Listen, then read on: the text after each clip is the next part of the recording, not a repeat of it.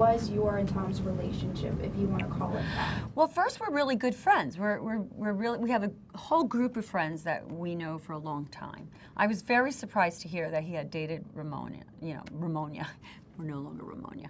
Okay, I was very surprised to hear he had dated Ramona, and I didn't really, you know, want to see him anymore when I had heard that. But then he said they were just friends. So then next I hear he's dating Luann. I'm like, oh my gosh, this is really crazy. Does he have a thing for housewives? My next mode was I just care about Luann. I've, I've set the precedent before on the show. You've probably seen no man's going to come between me and Luann. Uh, it was pretty crazy. And like she says, before Lou, she doesn't care either, so we get along just fine. I want her happiness.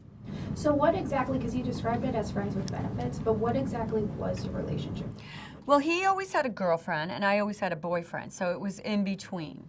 As adults do at our age, you know, we're both in our 50s, so it's like, it is what it is. But it was a nice understanding, very discreet. I mean, we were seen out in public, our friends kind of know what's going on, but it's like, different from what she has. They're soulmates. They're getting married. But if I hear her say one more time, but we're getting married, we're in love, I'm just going to go, boom.